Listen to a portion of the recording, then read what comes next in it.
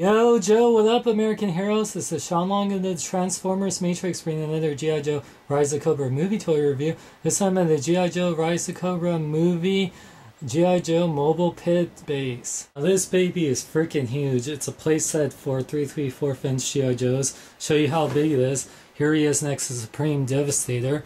And you can see here that um, in its mobile pit uh, mode that it's a little bit smaller than Supreme Devastator, but wait till it's extended to the full playset. One thing I have to reiterate is that this thing comes with a lot of stickers and a lot of pieces to assemble. You have to either be a hardcore G.I. Joe collector or older kid to really appreciate this, because this thing took about six hours to fully assemble and put on all the stickers, but it is absolutely amazing. You can see all the detail it has on here with all the different stickers and the railings on here with the missile launchers. It has those searchlights that do fully rotate and do uh, go up and down. This thing is covered with different pegs and has a helicopter landing or if you have little JoJo aircraft. This thing has a rotating satellite here, which is really cool for JoJo defense systems. This has rotating turrets on both sides of it.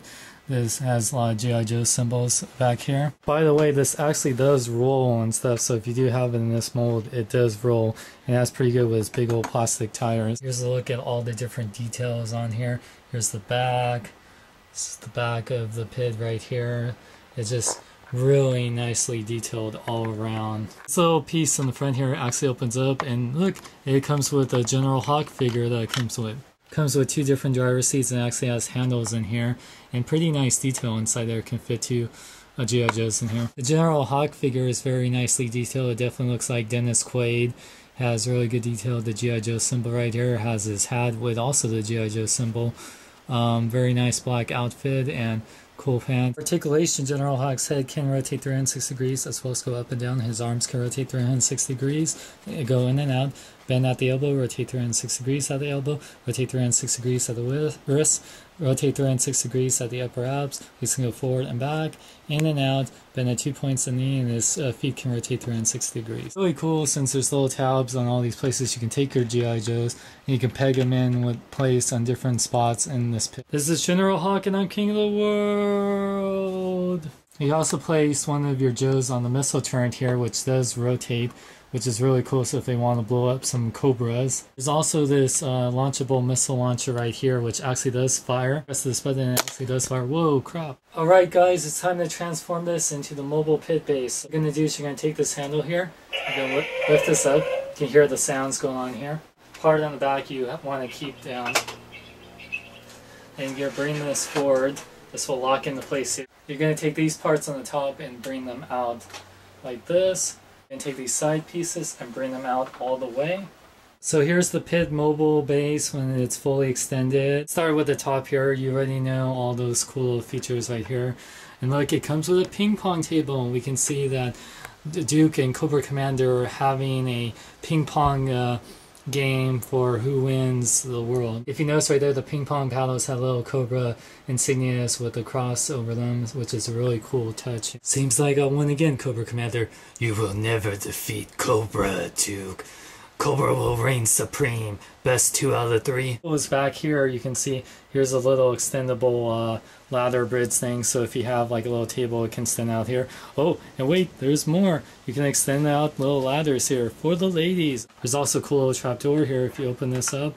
Bring this up. And look, there's ripcord coming from the elevator here, which I'll show the next feature here. It does have a working elevator right here, so you can bring ripcord down. Hey ripcord, is this the right floor? Oh yeah. It's also cool is you can drop in one of your Cobra figures right here and drop in like Zartan right here. And when you drop him in, oh no, he's prisoner. Cobra Commander, help get me out of here. Sorry, Zartan. I'm in the middle of a ping pong game. But don't fret, Zartan can easily break out of here because G.I. Joe has crappy security. So you can break out here, ready to take over as president. You can notice all the little um, details here with all the different stickers here. This section over here has some really cool cardboard cutouts. It looks like boxes and G.I. Joe things. You got Snake Eyes and Storm Shadow battling out right there. It's really cool if you push in this area right here. You got G.I. Joe resting area complete with beds and locker rooms. You can notice my stuff stay out. You can open this up and see there's Bazooka's jersey over there and there's a cool little picture. Also little details in here. There's like a little kitchen sink right in there if you can notice that. The beds here are really cool so you can have your G.I. Joe sleeping or not sleeping. on this side of the wall you can see all the cool rocky um, area of this side. You can tell it's underground mobile pit. Got snake eyes here. These walls right here are actually breakaway, so you can recreate the mole pod scene part, or you can just have a cobra surprise snake eyes here. Hello, brother. And behind the mobile pit here, we got this little section here. We got little scuba gear. We got a little jet sticker that says keep on fighting, which is really cool. Got the little infirmary ward with a little computer base, an oxygen tank, and fire extinguisher. You can see Snake Eyes. He has a little bed for him so he can rest after his storm shadow fight. A little area here for little computer screen if the Joes just want to watch ESPN or M- MTV Cartoon Network or whatever they want to do. And look on the top here, it says, knowing is half the battle. And the other half is knowing where the remote is. Oh, Snake Eyes, you were hurt in that last battle with Storm Shadow. Here, I got something for you.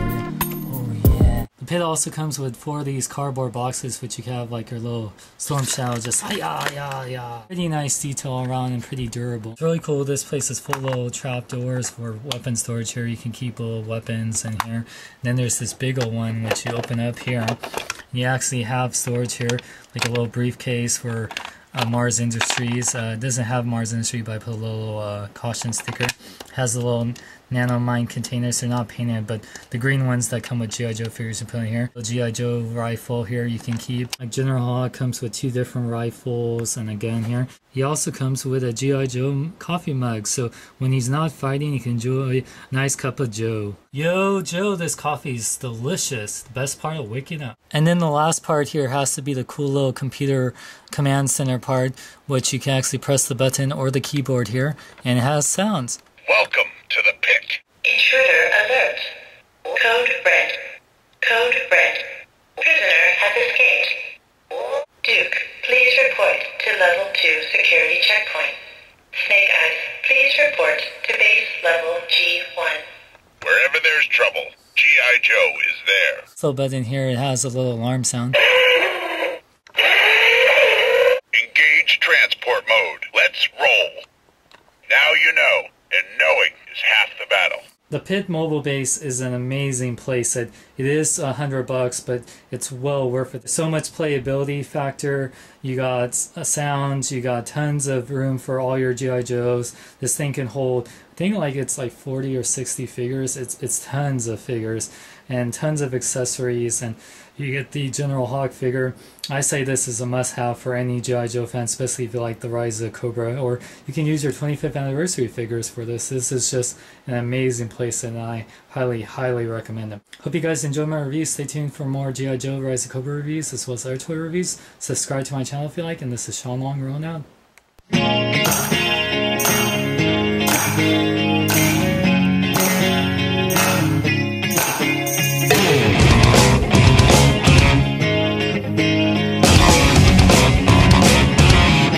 Beat you again, Cobra Commander. No, not again, Cobra!